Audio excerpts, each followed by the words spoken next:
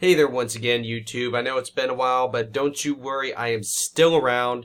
And if you think that I haven't put up a video for a while, just go and check my website on the many pages on my website because I might have done a post without doing a video about it. So remember to always check my website every day or two, see if something new is up. Um, right now, I just want to let you know on October 3rd, 2018, I put up my post, finally, about the intense swarming at Long Valley Caldera from September 13th through September 30th. Remember this round of swarming was pretty intense. Magnitudes weren't large at all, but it was pretty intense, guys. It was a very rapid fire swarming that was occurring on multiple days.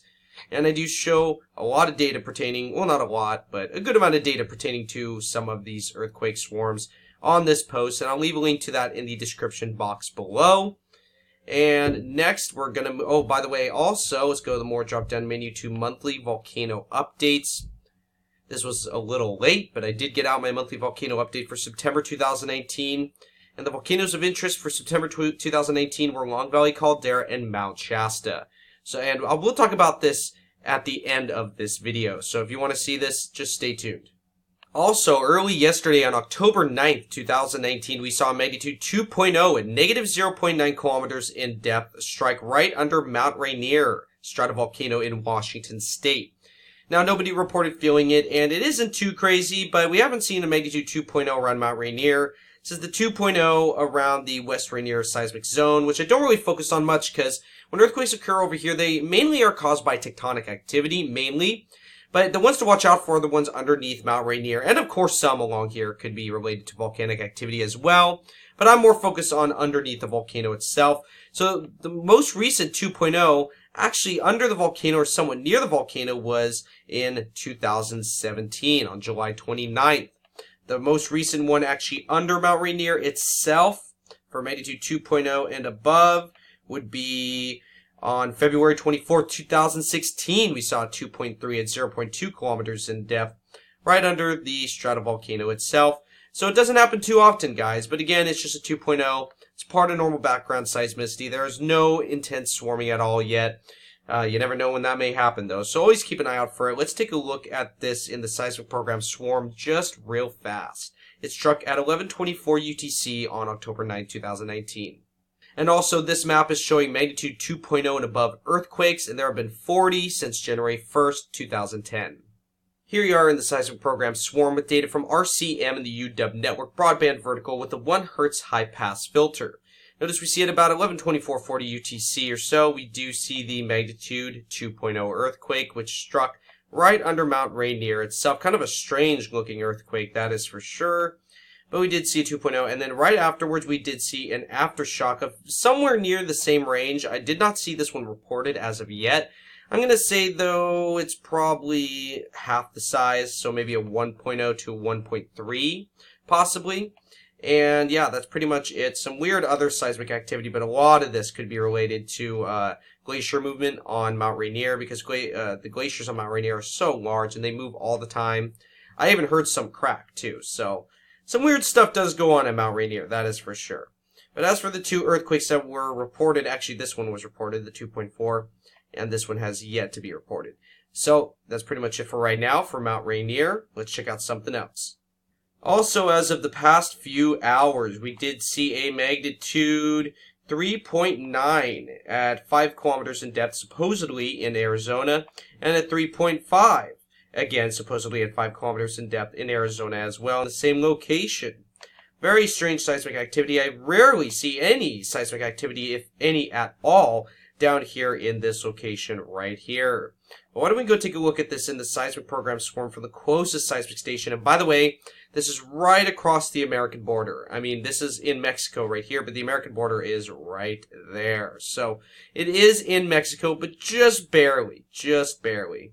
And also, nobody has reported feeling this magnitude 3.9, which struck at 110 UTC today, just a little bit ago, which would be about 610 Actually, wait a second. 5, 6, yeah, that'd be about 6.10 p.m. Pacific time. Excuse me, sorry, I was trying to do the math in my head. so about 6.10 p.m. Pacific time. The closest station, sadly, is DU, eh, DUN6 in the AE network, which was about, took about 25 seconds to reach that station, so it is pretty far away from the epicenter. We have no closer stations, but we will see what shows up on this station right here.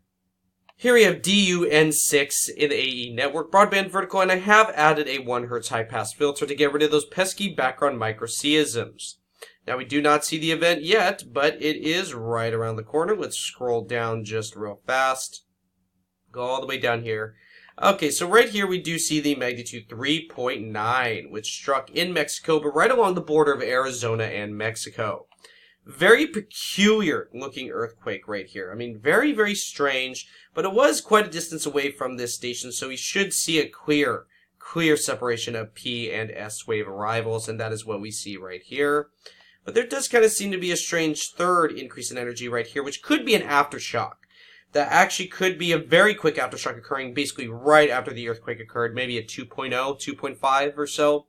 And going forward, we really don't see too much at all since the 3.9 and possible 2.5. And then right here, we do see the magnitude 3.5, which struck. So very, very intriguing, guys. And we see the clear P and S wave arrivals, taking a little while to arrive on this seismic station in Arizona. So, what do you think is going on down there just across the border, guys? What do you think is going on? Strange location for these earthquakes. And before I start with a few other things, we're going to look at Steamboat Geyser on my page, this 2018 Steamboat, Steamboat Geyser page, excuse me. Under Yellowstone drop-down menu under Steamboat Geyser Eruptions. Now, this page will be helpful, and I did update it with the most recent eruption, which is the 39th eruption of 2019, which is shown right here, which is the 71st eruption since it reactivated in early 2018. Can you guys imagine it's erupted 71 times? I mean, of course, there have been many, many, many minor eruptions that cannot be uh, detected on the seismic stations, but for the main, major, run-of-the-mill eruptions, there have been 71 since it reactivated in early 2018. Now this eruption here had a much stronger amplitude than the previous one. Interestingly though, according to the stream gauge within the outflow channel Steamboat, that this eruption ejected less water than the previous eruption, but it had a stronger amplitude. Huh? I think that was pretty strange. Steamboat continues to set a new record every time it erupts since it broke the all-time record on August 27, 2019. Again, this is the 39th eruption of 2019, which struck at 8.45 p.m. Mountain Time, October 8, 2019. And we do see on the webicorder, YNM right here, there's a steamboat eruption right there. Very strong amplitude from this eruption, but it ejected less water than this eruption. So, very, very strange, guys. Here have volcanoes.usgs.gov at Yellowstone National Park and Caldera, like I like to call it. And up here at Norris, we see many temperature gauges, but the one we like to focus on is Steamboat Geyser right here. Now, the past seven days, we did see those precursors of minor eruptions increasing the temperature uh, so that the daily up and down is not being able to be seen. And then all of a sudden, boom, we saw the eruption right there, and it started to calm down and go back to normal background levels.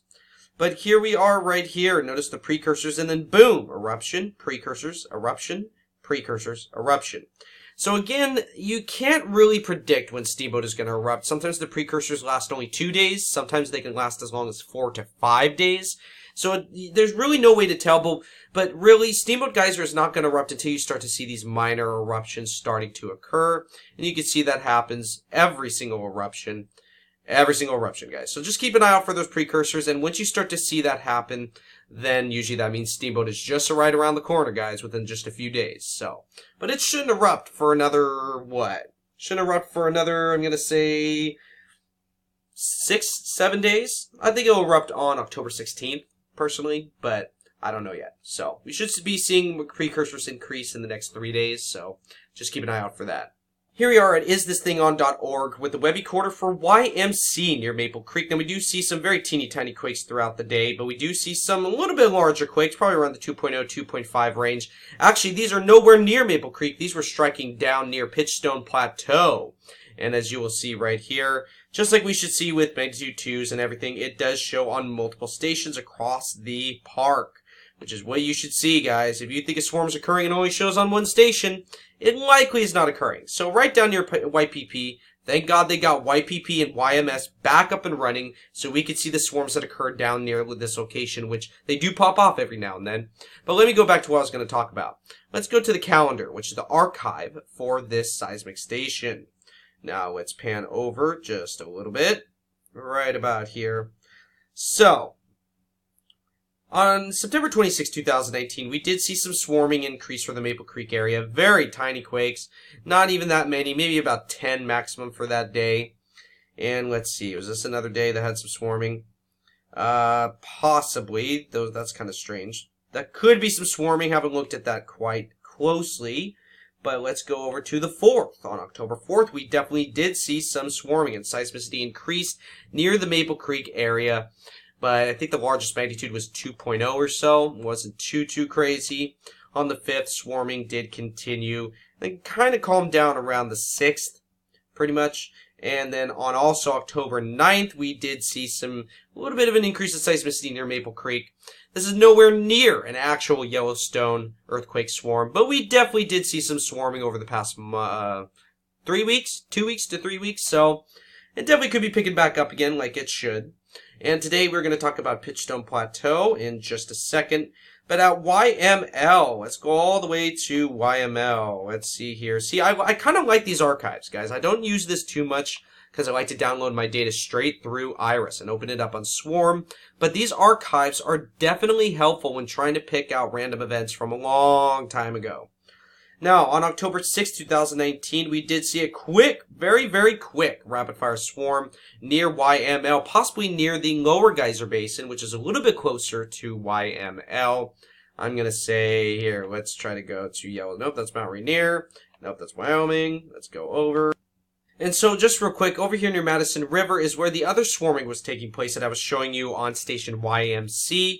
But I believe the swarming that occurred at YML actually on the 7th, notice it says 10-7 right there for the UTC date. At about what? We're going to take a look at this in swarm in just a second. I'll get the exact times in just a second. But around 4 to 5 UTC. We do see the only reported earthquake for that time period for Yellowstone on the 7th, 409 15 UTC was at 1.9 and 3.9 kilometers in depth. Right over here, just north northeast of West Thumb Lake. So let's take a look at it in the seismic program Swarm from seismic station YML, which supposedly was the closest station to this swarm. Supposedly. Let's take a quick look at this quick just to see the origin real fast. Go to phases. Okay, so it's saying borehole 208 was the closest. Let's download both 208 and YML real quick. Okay, so here we are in the seismic program swarm. Let me zoom in real quick. Okay, so we do see, let's, let's see. Okay, so this is the swarm right here from borehole 208, which supposedly was the closest seismic station to this earthquake swarm. So they probably did get the location of this event correctly. One, two, three, four, five, six. 7, 8, 9, 10, 11, 12, 13, 14, 15, 16, 17, 18, 19. No more than really 19 earthquakes at all. Really no more than that at all. And probably the largest was this one right here. I believe 1.9.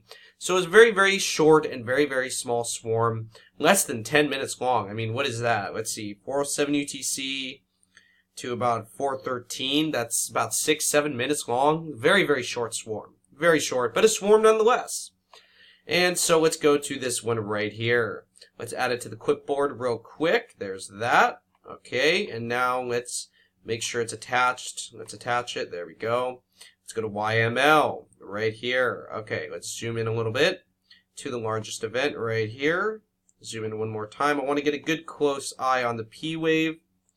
And let's put it to the clipboard. So looks can be deceiving, although it looked stronger on station YML, and you can see there is a higher amplitude count on station YML, you can definitely tell that borehole 208 saw these events arrive first. So looks stronger on YML, but borehole 208 was the closest station. Isn't that interesting? So you can't really use the strength of any given event to really tell where it occurred or what station was the closest, you gotta look at the P wave arrivals. And Swarm can help you do that with the wave clipboard.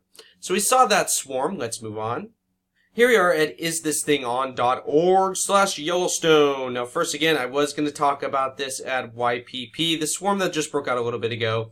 But I want to go back just real quick because I wanted to show you this. You might notice a seismic signature I'm going to say around, around 2002 UTC or so. And notice how it does show up on many of the seismic stations around the park. You do see it again right there. You can even see the PNS wave arrival with the webicorder, which usually doesn't happen. And you can see it showed strongest on YPK, showing it occurred either in within the eastern section of Yellowstone or farther east, maybe northeast, southeast. But you could tell, here it is, right here. And that is, my friends, a mind blast. Now, may not believe me, and I may be wrong, but I have seen mind blasts come from northeastern Wyoming. Here we go, right here. From northeastern Wyoming near Gillette, actually, and a little bit up near Montana. We do see mining explosions quite regularly, actually. Here I have the largest magnitude first, but the most recent reported one, and it does take them a few days to report mining explosions in this location right here, and you can tell Yellowstone is right over here. Now you may be asking yourself, that why why is it traveling so far so quick? And by the way, the last one reported was on July 19th. So that was quite a quite a ways away ago, guys. So hopefully they get around to reporting the most recent ones if they are mining blasts. I'm not saying they are, but they look somewhat indicative of them. But the thing is, these although they say they're around the surface and mining explosions somewhat occur underground, they must be occurring very deep, guys. And they've been doing this for years in this location. So there's got to be like an underground cavern or underground city in this location. There has to be. I mean, I believe the largest I saw ever was a 4.0. Do you know how large of an explosion you need to reach a 4.0 earthquake on the Richter scale? That's a lot of energy. I mean, I think one of the nuclear tests in North Korea many, many, many years ago was a 4.2, registered as a 4.2. And then, of course, the most recent was a 6.3 nuclear test. But I'm not talking about that one.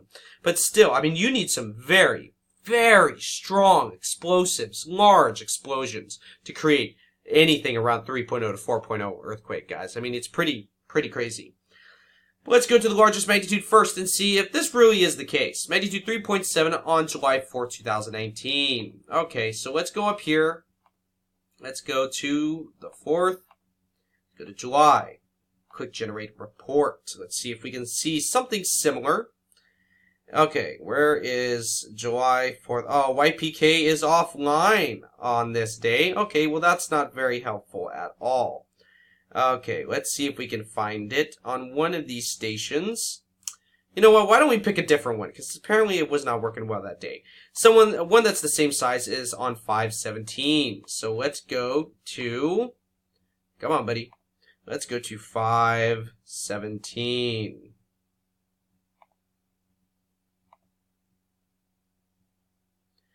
Okay. On 517, add what was the date? Or excuse me, what was the time? 2003 UTC. So about 2003 UTC.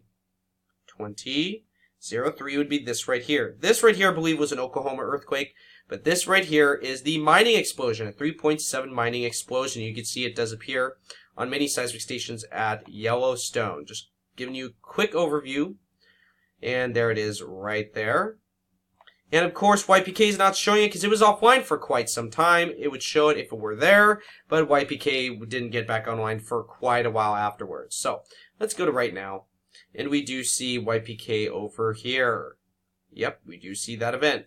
So why don't we go to the GMAP, which is my favorite tool in the world. Go to IURSSD. Notice Black Hills, South Dakota. Notice Rapid City. Notice Gillette is right in this location right here. Notice we do have if I pan over enough, Yellowstone National Park right there. So this is the northeastern corner of Wyoming. A lot of these explosions are occurring somewhat in the northeastern corner of Wyoming. So the closest seismic station would be RSSD. So let's go see right over here. Let's go to IU RSSD 00 BHC. I already have the codes memorized in my head because I download data from there a lot. Alright, just to top it off, we'll do the 13th, even though it's not the 13th yet. Data is downloading. So here we are in the seismic program swarm. I have RSSD opened and I have YPK opened as well. Remember, YPK is the easternmost station at Yellowstone, which saw the station arrive first out of all the stations at Yellowstone. First, let's go to Y, excuse me, RSSD. And let's do a 1 hertz high pass filter just to get rid of some of the lower frequencies just real quick because I just want to see the event itself right here. 10 hertz is the maximum frequency range on the spectrogram for this station. The station does not record anything above 10 hertz. It is an older station, I believe. Poor old guy. But we see the event right here. Why don't we add it to the clipboard real quick? Now let's go to YPK. Let's go right here and add it to the clipboard. Make sure it's centered on there. Let's see if we can zoom out real quick. And let's add that to the clipboard. Okay. So right here, excuse me, right here, you see RSSD is on the top, which is in pretty much near the northeastern section of Wyoming, and YPK at the bottom. Notice how the P-wave arrival of this event occurred far closer to RSSD than YPK, even though YPK seemed like it was coming from Yellowstone. Made it seem like that, but look at that. RSSD saw it occur much closer than YPK, so this could be another mining explosion. But then again, I, I am questioning a lot of these ones being mining explosions because it's just weird. Some very strong explosions occurring a lot, especially during the summer of this year and last year. It was just off the charts. So I have no idea what they're making down there. I mean, they must be mining a whole slew of mining deposits because they're pretty much nuking that whole area down there with little teeny tiny nukes. So that's very interesting. Let's move on to the swarm that occurred today. Here we are back at isthisthing.org. Just for a quick overview, we did see a swarm broke out just a little bit ago, a few hours ago, and it does look like YPP is the closest seismic station because it actually is showing more microquakes than any other station in the area. So I'm just going to use this station to take a look at the earthquake swarm. Not too many earthquakes, but again, I don't know where it occurred. I'm thinking probably, I'm going to just venture a guess, and you could tell they have not reported anything yet. They probably will tomorrow or the next day. But just saying, it's probably going to be somewhere in this, this this area near Shoshone Lake and Lewis Lake, which has seen some interesting swarms in the past that I have documented on my website. Again, always check my website for things. If you don't know where to find them, just check my website. Got a good amount of stuff on there, my friend. Okay, so we're going to take data from YPP just real quick. Let's go to YPP, 01EHC. There we go. And data is downloading. Here we have YPP and the seismic program Swarm. I'm going to scroll all the way down and we did see some swarming. Probably the largest being a magnitude 2. Probably I'm going to venture out there and say it's a magnitude 2. Some mid-range frequencies, but for some reason a lot of these stations at Yellowstone do not although although the stations do record frequencies up to 25 hertz, they're very weak. They do not record very well at very high frequencies unless they're a broadband station. A lot of the short period stations I notice are better recording frequencies below 15 hertz, which I find very strange. I don't know why that would be, but who knows, guys? Who knows? But we do see some mid mid-range frequencies on these events. Right here, I'm going to venture a guess, say maybe magnitude 1.3 or so, right there. Then there's another aftershock right after there. Largest would be this one right over here. Right there. Probably magnitude 2.0 to 2.2, I'm going to say. So going forward, we see a few more events. Very, very small. Kind of like a rapid fire swarm. Kind of. Could be associated to fluid flow. I'm not too sure, though. Just showing you the swarm. Not seeing too much, not seeing too much. There's another little tiny quake right there. Another one right there. Another one right there. Oh, and then we saw a bigger, three of them actually, in rapid succession, right here. This one I'm going to say maybe a 1.8, maybe 1.7. Not too sure though, I'm just venturing a guess. And we saw a few more teeny tiny quakes after that, and that's pretty much it. The tiny quake down here. The most recent data though, as of 7.51 p.m. Pacific time, October 10th, 2018, is basically nothing at all. So we'll just have to keep an eye on it. It's possible a bigger swarm could break out in the next 24 to 48 hours. Just putting that out there just in case if it does, but it probably won't. So just keep an eye on that, guys. Let's move on. Here we are at spaceweather.com viewing the page for October 9, 2019. Monday Night Football Volcanic Sunset. On Monday night, October 7th, more than 50,000 football fans in Levi's Stadium watched San Francisco 49ers thump the Cleveland Browns 31 3. Woo, man. Fortunately, one of them looked up at the sky and said the sunset was full of volcanic colors, says Dave Weixelman, who took this picture from the upper deck. Let's take a look at the picture just real quick. Notice the purple haze, guys. Notice it's very, very, very purpley. Let's go all the way back. Fortunately, we were facing west and had a great view of the sunset. I took the picture using my smartphone and this is how it looked straight out of the camera, very purple. He witnessed a Rakoki sunset. Please tell me if I'm saying that right. Raikoki. Rakoke? Raikoke. Yeah, the Russian volcanoes are almost just as hard as the Icelandic volcanoes, to say. On June 22nd, the Rokkoki volcano in Russia's Kuril Islands erupted with such power that tons of sulfurous, sulfurous excuse me, gas reached the stratosphere. That gas has been swirling around the northern hemisphere ever since. Fine volcanic aerosols in the stratosphere scatter blue light, which, when mixed with the ordinary sunrise red, produces a purple hue. Purple, however, isn't the only thing to look for. Volcanic skies are also marked by a yellow twilight arc with long diffuse rays and shadows. As Weixelman's photo shows, many of these features are visible even through the bright lights of an NFL game. That's pretty cool, guys. And the Rokkoki eruption the Rokkoki eruption occurred on June 22nd, 2019 at about 4 a.m. their time, guys. Yeah, and it was in the Kuril Islands in Russia. Very, very large, very explosive eruption, guys. It, I do not know the VEI associated with it, but here, this is from the International Space Station, guys. This picture is literally from the International Space Station. Look at that. That's from space, guys. Look at how high that plume is. My God, that, that was a very, very large volcanic eruption on the Kuril Islands. Very intriguing, guys. Let's see if we can read more about it. If they tell us the VEI eruption must have been, I'm going to say probably VEI 5. Probably very close to VEI 5. Let's see. The Rokkoki volcano bear, uh, rarely erupts. The small oval-shaped island most recently exploded in 1924 and in 1778. The dormant period ended around 4 a.m. local time on June 22nd when a vast plume of ash and volcanic gases shot up from its 700 meter wide crater. Let's see, is there a VEI associated with this? Oh, here's another image of the volcanic eruption right there. Let's see here. I don't see a VEI at all, guys. Here's another one from space. Yeah, that's pretty large. Pretty large, guys.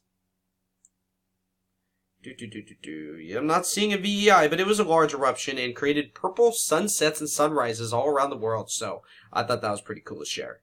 Something I almost forgot to talk about real quick is Hawaii. Now, seismicity continues within the mantle plume conduit pretty deep, guys, from about 20 kilometers to 40, maybe even 50 kilometers in depth underneath Pahala, Hawaii. Now, uh, the inflation, which is the uplift, the swelling of the ground because of magma supply to each and every chamber, is occurring at the Mauna Loa Summit, the Kilauea Summit, and the Kilauea East Rift Zone, right in this location right here. And also, they did confirm HVO does admit, so does USGS, that this whole section from basically from right about here to right here is heading towards the sea and has been since the 2018 eruptions.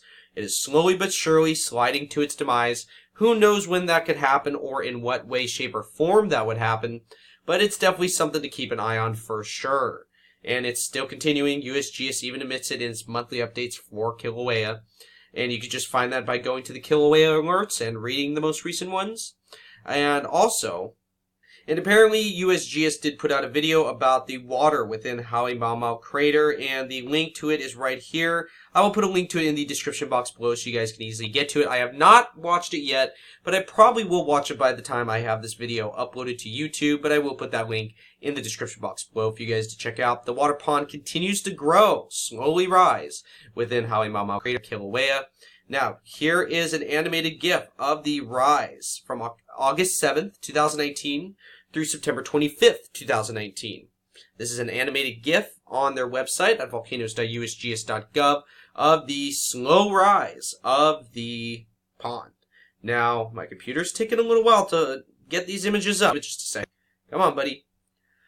There we go. Look at that pond grow, guys. Look at that thing. It's not really a pond anymore. It's starting to turn into a little lake. Look at that.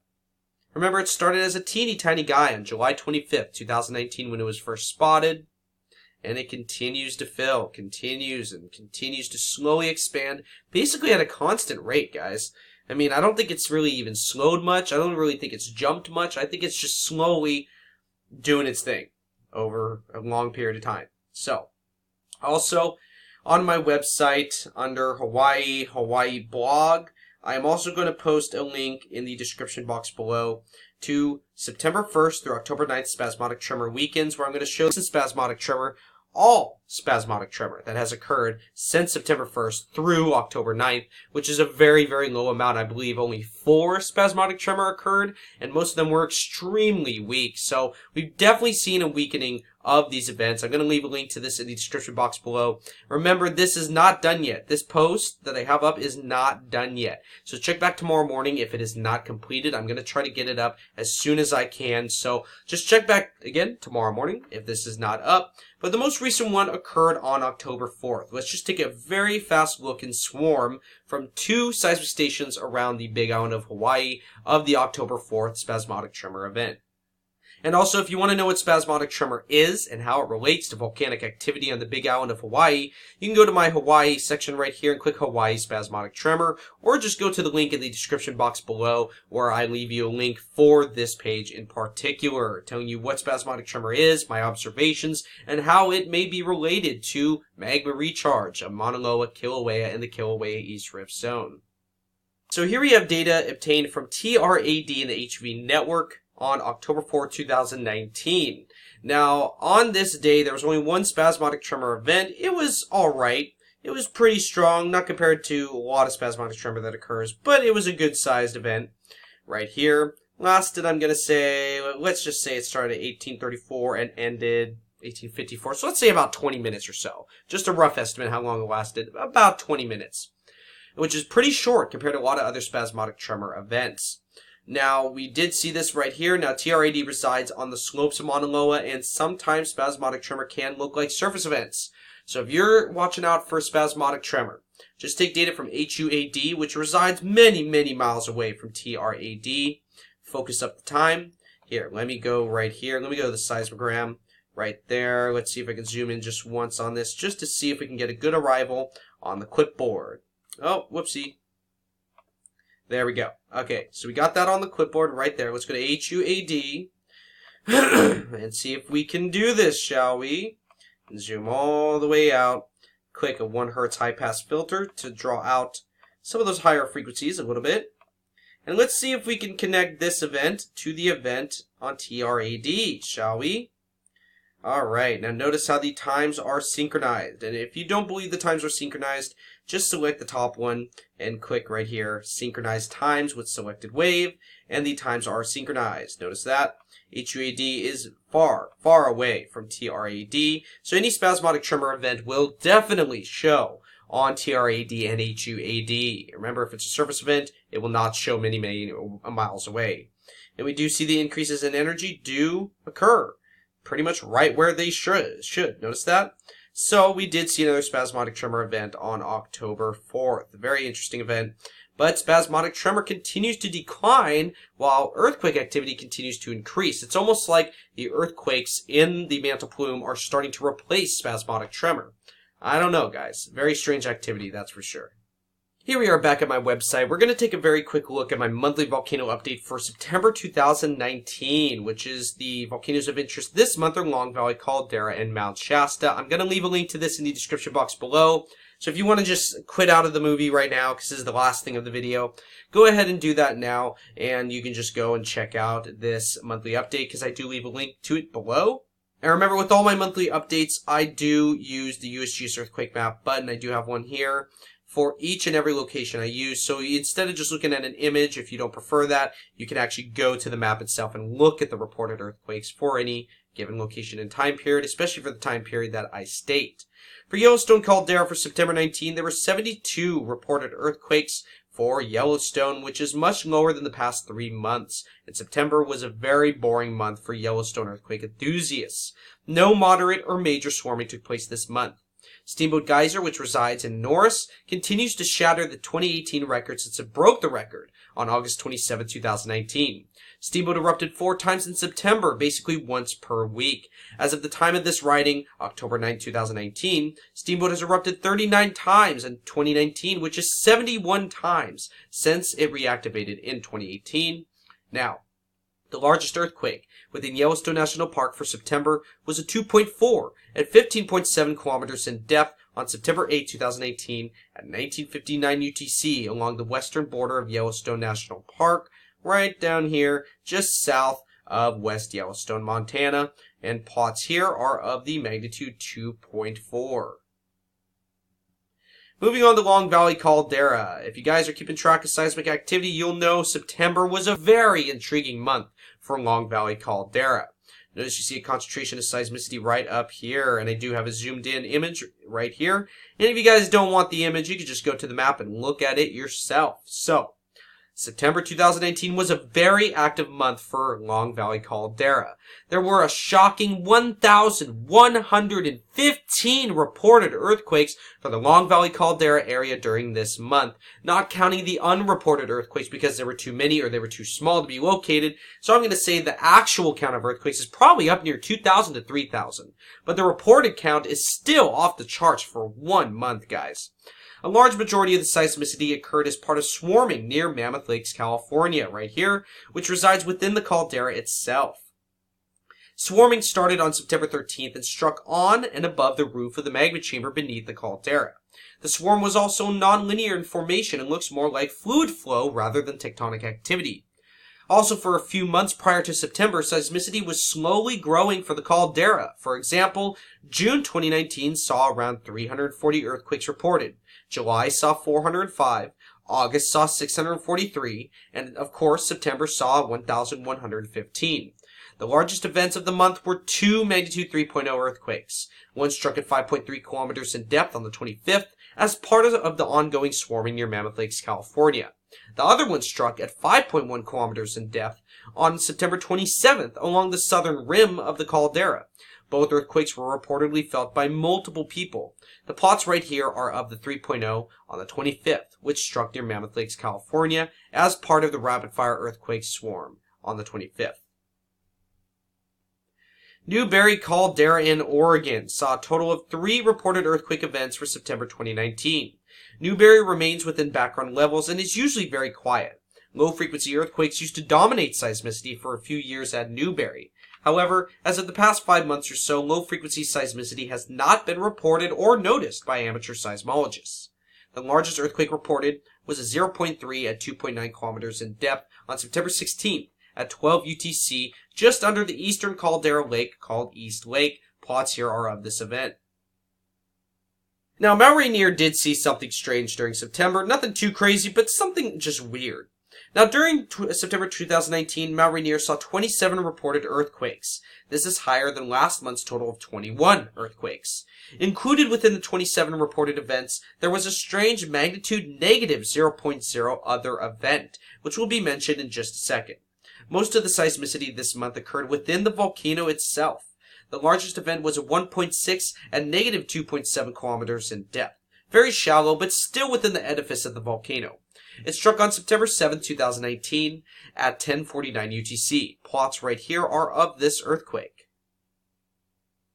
Now, on September 26, 2019 at 1910 UTC, there was a very strange magnitude negative 0.0 quote unquote other event. And that's what USGS labeled it as. They didn't label it as a rock slide or landslide or anything like that. They labeled it as an other event at negative 2.3 kilometers in depth under the southeast slopes of the volcano.